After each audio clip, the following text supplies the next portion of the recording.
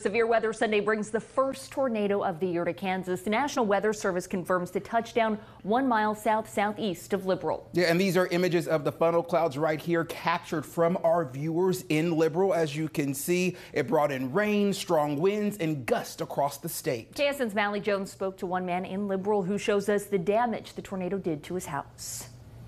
Eddie Julia, he says it all happened in a matter of minutes. He tells KSN multiple things flew through his windows and there's a small hole in the side of his house.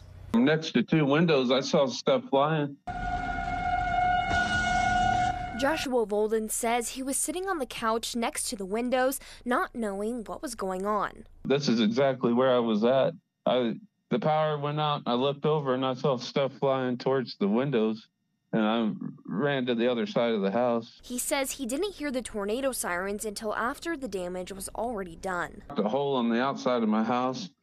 And then I have uh, in my son's room, there's two fence boards stuck all the way through the wall. He says he thought he had a lot of damage, but then he walked outside and was shocked to see his neighbor's house. Yeah, the whole roof over his garage and his living room's gone. And then he had a metal shed, like shop building next to it, and that's pretty much all destroyed too.